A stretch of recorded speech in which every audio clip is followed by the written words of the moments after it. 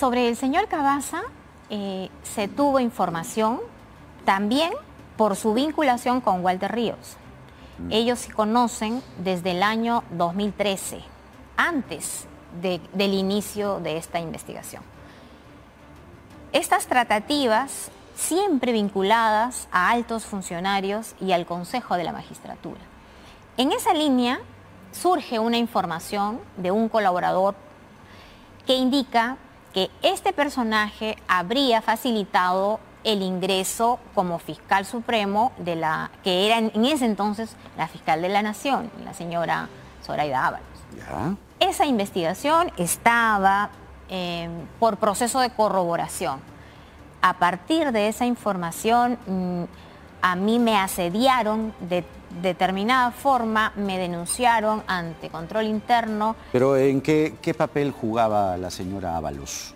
En el sentido de que esto se necesitaba, en ese, en ese momento el caso sonado era el caso La Centralita, donde había un, un grupo de fiscales que estaba siendo investigados por haber hecho su trabajo un grupo de fiscales que hicieron un operativo en el búnker donde intervienen, donde encuentran hallazgos.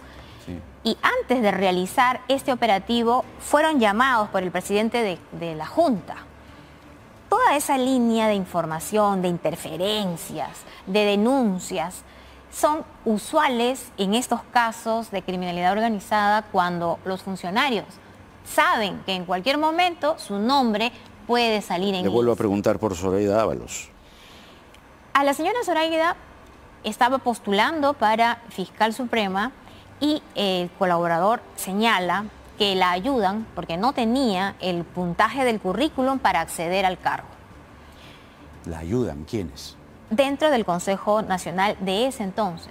Estábamos en proceso precisamente de corroboración de ese dato. ¿Qué año es eso? Estamos hablando del año 2013. Wow. Eh, en, ese, en ese periodo era otra junta. Gobierno de Martín Vizcarra está en la mira de las autoridades judiciales. Testigos en el caso Los Intocables de la Corrupción han revelado la entrega de dinero producto de coimas en el mismo despacho presidencial.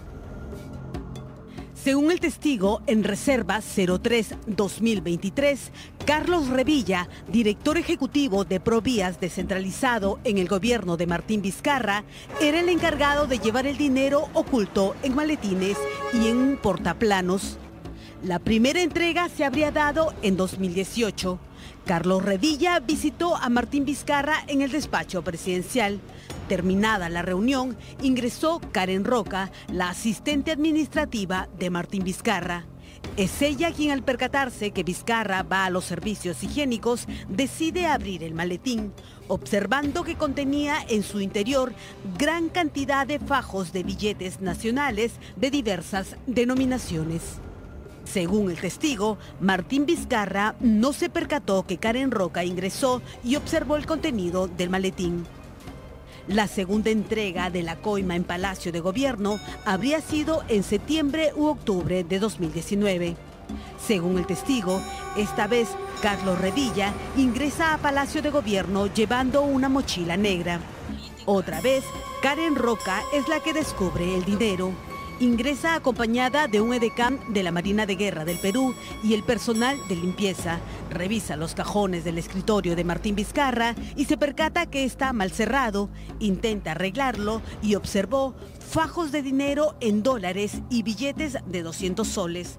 Estos fajos lograban cubrir todo el cajón del escritorio. En ese momento es sorprendida por Martín Vizcarra, quien le habría dicho, oye, ¿qué haces allí? ¿Qué has visto? Karen Roca le responde nada y sale del lugar. El testigo asegura que ese dinero fue entregado por Carlos Revilla, pues minutos antes habían limpiado el escritorio y los cajones estaban vacíos. Pero además agrega que en esa ocasión Martín Vizcarra habría ordenado se apaguen las cámaras, un hecho que ha sido corroborado por personal de seguridad. La tercera entrega de dinero se habría dado el mismo año. En esta oportunidad, el dinero fue llevado en un tubo portaplanos. Martín Vizcarra lo habría dejado al costado de su escritorio. Karen Roca, siempre oportuna, lo revisó y observó que también contenía gran cantidad de fajos de billetes nacionales de diversas denominaciones. Testimonios que ponen en jaque la situación legal del expresidente Martín Vizcarra y su entorno.